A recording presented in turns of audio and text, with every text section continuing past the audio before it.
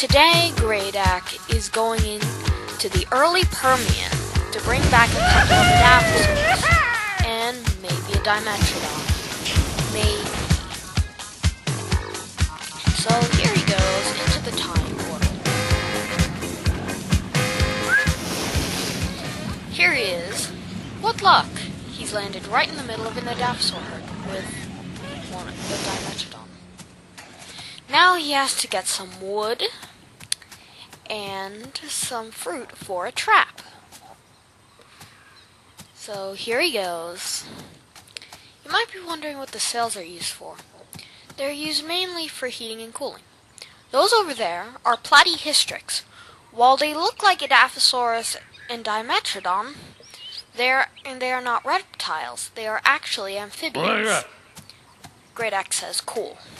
They use their spines for the exact same reason as the Dimetrodon and the Edaphosaurus, because the, the early Permian is so cold. So now here he goes, collecting more and more fruit and wood for the trap. He has almost enough to make it. There he goes.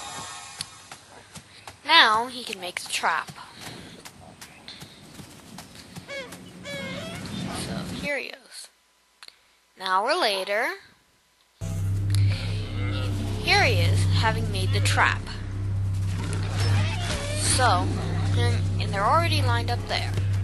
All he has to do is let them in. They're even fighting outside.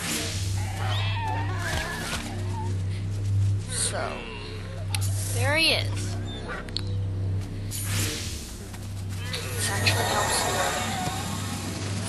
Has a couple. Now he's back to the present. So, later,